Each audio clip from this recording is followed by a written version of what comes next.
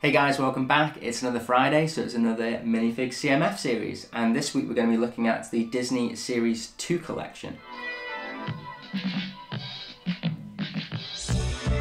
So this collection is quite a lot different to the original Series 1 collection. I feel like there's a lot of more subtle characters, not as often used, and some of these actually have never appeared in any other sets. So this is really, really cool. This is the kind of minifig series that I really, really like. So, quickly just going through them all, we have Chip and Dale, we have Huey, Dewey and Louie, I can never remember which order they are, uh, Scrooge McDuck, we get the vintage Mickey and the vintage Minnie, and then over here we have Elsa, we have Anna, Edna and Frozone, and then we have Hades, Hercules, Sally and Jack, Jafar and Jasmine. So quite a lot of kind of really big Disney films, but that actually don't appear in many Lego sets. So obviously this is going to be my worst to first, so let's get straight into it. And starting the list is going to obviously be uh, Chip. Okay, so why have I said obviously Chip? Well, just look at him. He's got no printing on his legs. Now the one cool thing that I do like with this character is the fact that he has the teen legs, which were obviously first uh, on Harry Potter characters. I do like that, but that is about it, because you don't often see those legs much, but the back printing is just really, really plain on this character. Chip's not a very nostalgic character for me anyway, in fact he's just appeared on really rubbish stuff like, think it was Chip 'n Dale Rescue Rangers when I was a kid. No one really cares. Uh, and these guys are also in the Disney train set, which again I think a lot of people didn't want or didn't ask for. Um, his accessory here is absolutely terrible. Um, it's a nut for some reason, and the only good thing about it is you could take the top off and use it as a uh, part of a drinks um, can or something. But other than that, yeah, he's absolutely rubbish. Okay, so in at number 17 is his co-host, I suppose, which is Dale. Now, Dale actually the minifigure is a little bit cooler than than Chip, just for the fact that he's got the the buck teeth, which gives him a little bit more character, I think. Um, and his expression just does look a little bit better on this character. The paler colour is, I mean, I actually prefer the darker brown, but the reason that I put him slightly higher is I prefer the accessory basically, which is the bag. At least you can use that in, in more places. But other than that, he's exactly the same as the other guy, just a slightly paler colour. Even the printing's pretty much the same on the torso, slightly different accent tuft on the front, but other than that, he's the same. And the paint's just really, really shoddy on these, mainly probably because of the paleness with the white showing through, but yeah, these guys are definitely probably on everyone's low list. Okay, so coming in at number 16 is the start of the, the trio of the little ducks from DuckTales, because sadly they just haven't worked that well in minifigure form. So my worst one of these guys is Louie. So taking a deep look at Louie, what I'm trying to say with why they haven't kind of gone well into this is the fact that they just have a very solid coloured torso, which I just think just doesn't look very nice in minifig form. They haven't really added any kind of design to them where they could have made it look ruffled or more like a t-shirt. Um, the legs are just the short legs, um, they are dual moulded, but again it's just very, very plain, no printing on them at all. And then the minifigure heads are actually identical. They're all exactly the same, bar the different hats they're put on. All the hats are the same, that exact same mold, just in different colours. So the reason I put um, Louie at the bottom is because he just has a lightsaber hilt, which I'm a massive Star Wars fan, so I have so many of these, it's absolutely pointless to give me another one. Uh, and then it has a yellow translucent um, stud on the top, just to kind of give it that look of a torch. But basically it's, it's all down to the minifigure accessory with these guys, and that's why he is the lowest one. So coming in at number 15 is again one of those uh, ducks, but it's going to be Dewey. Now, actually, I do quite like the blue on this character at least. Uh, I do think it looks slightly better than the green, but again, it's only because of the accessory with this character, and he has the slingshot, which was obviously made famous with Bart Simpson and the Simpsons characters. But because of that, it is a little bit of a rarer accessory, so at least that's kind of good. And you do get two in the bag, which is quite nice as well. And coming in at number 14 is Huey. And that's mainly because I really do like the book that he comes with and it does have two printed pieces. So that's quite nice. It can be used in lots of different places. Um, and yeah, it's just a cool, cooler accessory than the others by far. So that's why. Okay, so in at number 13 is sadly, I have to say, Frozone from The Incredibles. Okay, so I put him so low down. Although he's actually unique to this minifig series collection and we don't have a Frozone, we should be getting more Incredibles sets. So I think that really they should put those in normal sets.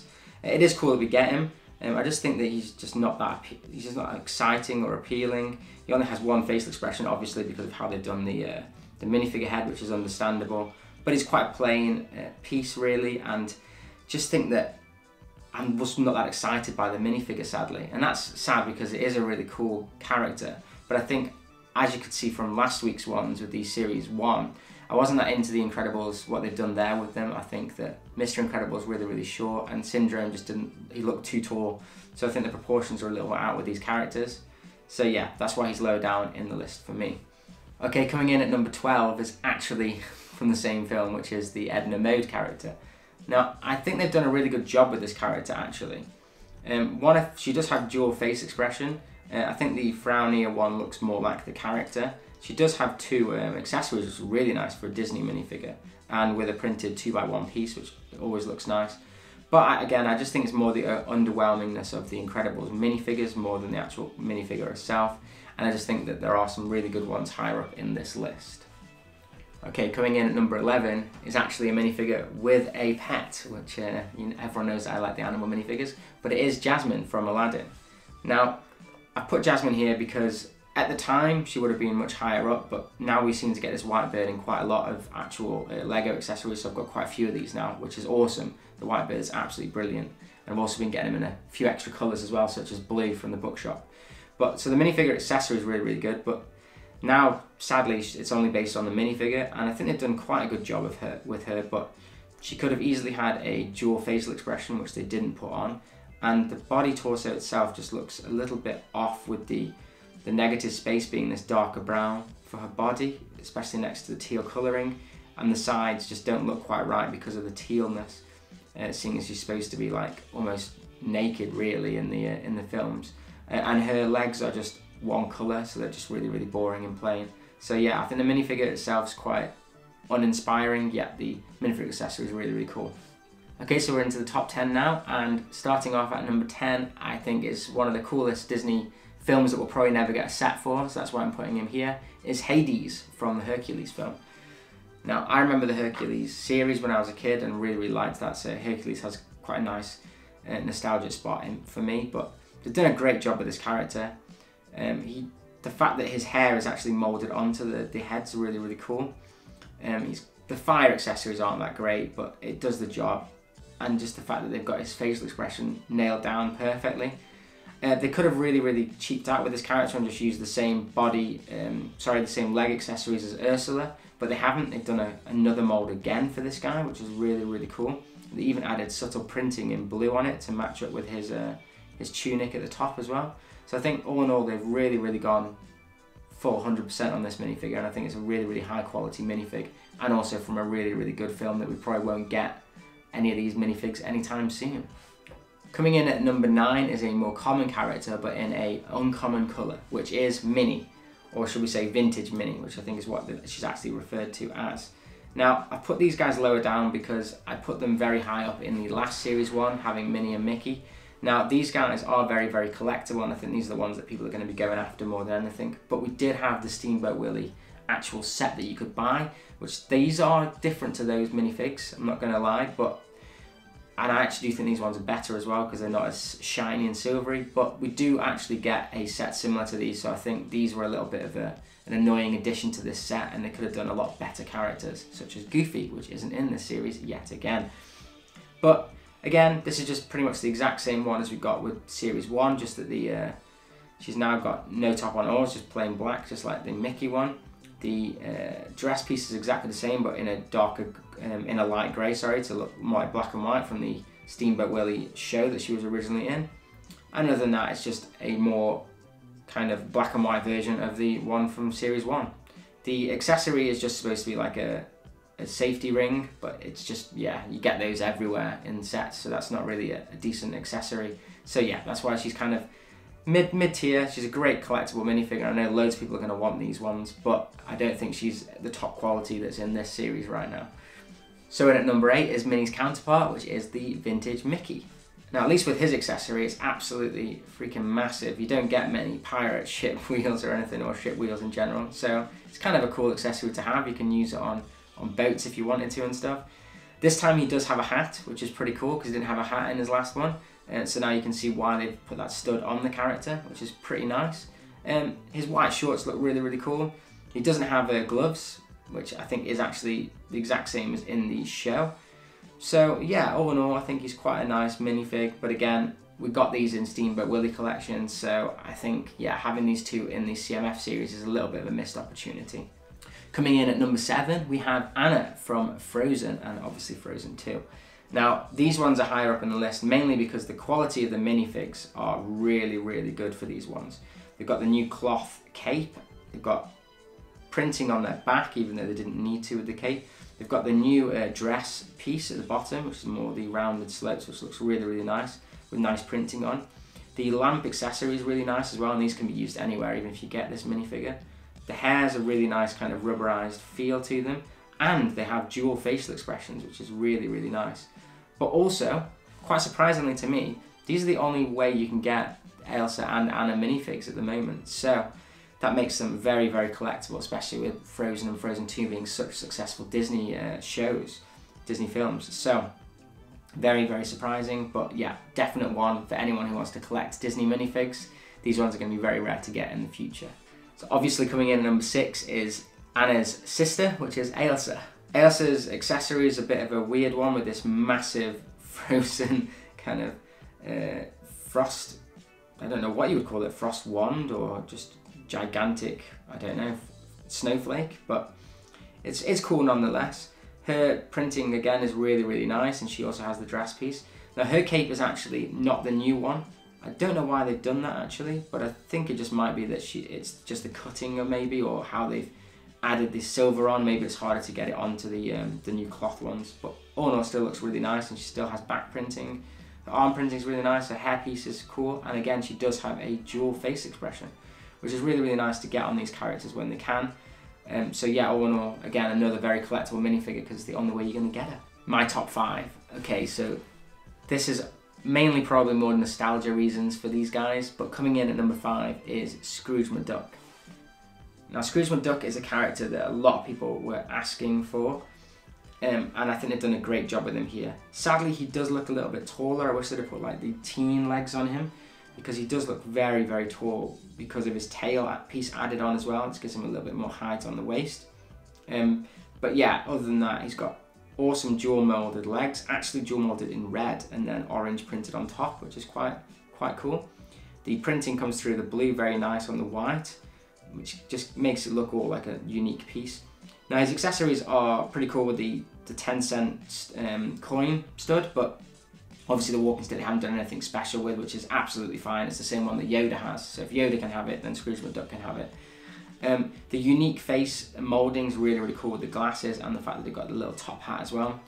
Um, and actually his, his body is actually really, really cleanly printed. There's not much on there, but it does work very well. And obviously, Scrooge McDuck's just a character that we're definitely not going to be getting a minifig uh, set for, or um, you know, a, a Ducktail set. So I think it's really cool to have him.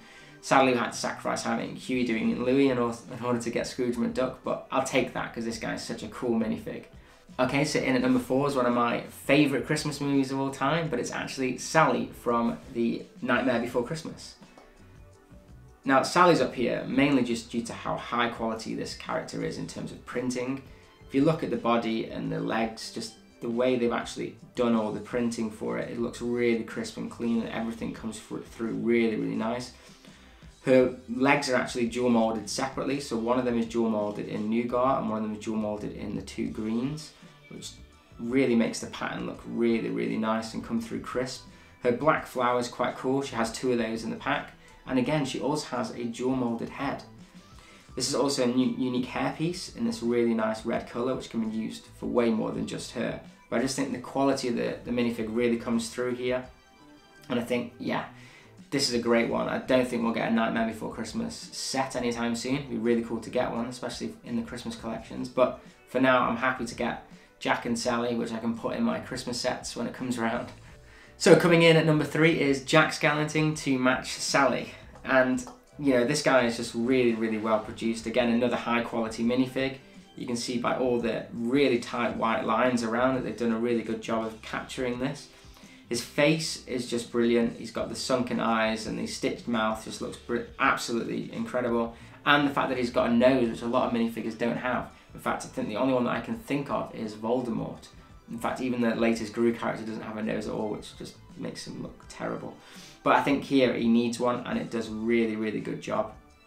Now, I don't like the box accessories, but they've got one here, and it does look quite nice for as far as boxes go. He also has these little snowflakes inside, so you get quite a few of those, which is quite nice to have, I suppose. They can be used in Christmas sets like, uh, when, when it's time to unbox those.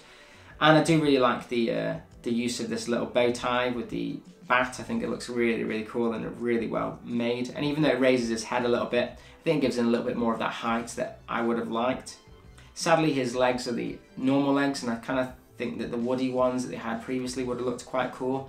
But maybe this would have made them look a little bit too tall and not minifigure enough. So I don't know. Maybe they could have done the the studs that um, the longer studs, which were on the clown one from the People Pack. But nevertheless, I think they've done a really good job with this guy, and the quality of the actual minifigure, he's going to be very, very collectible. And I don't think we're going to be getting a Nightmare Before Christmas set anytime soon. Okay, so we're down to the last two, and if you've been keeping up with which ones are in the sets, these two are quite. They're not the top tier that you would expect from a Disney film, but I think these niche ones are really, really cool and nice to have. So, in at number two is Jafar.